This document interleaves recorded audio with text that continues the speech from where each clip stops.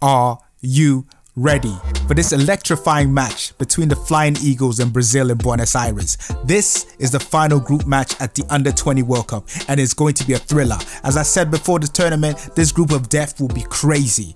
Fortunately, Nigeria is already through to the next round, but all three teams at the top could end up on 6 points. Nigeria defeated Italy 2-0, Nigeria put the afterburners on and burnt these Italians. Brazil on the other hand gave the Dominican Republic the spanking most people thought they should have given them. Now, let's talk about the ones to watch. For Nigeria this time, I say keep an eye on Salim Fago Lawal. He finally got off the score sheet against Italy and his presence will be needed in this thriller against Brazil. For Brazil, Marcos Leonardo is the one to watch. He's the tournament's leading goal scorer with three goals, having scored in both opening games. Let's hope Nigeria can keep his feet quiet on Saturday.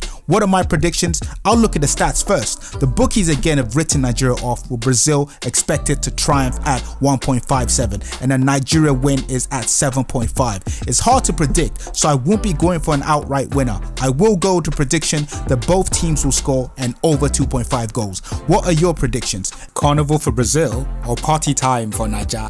And finally, how can you watch this match? It's streaming on FIFA Plus for free in certain countries and on GoTV and Supersport in Nigeria. Until then, watch the video on the screen if you haven't about this group of death and don't forget to like and subscribe.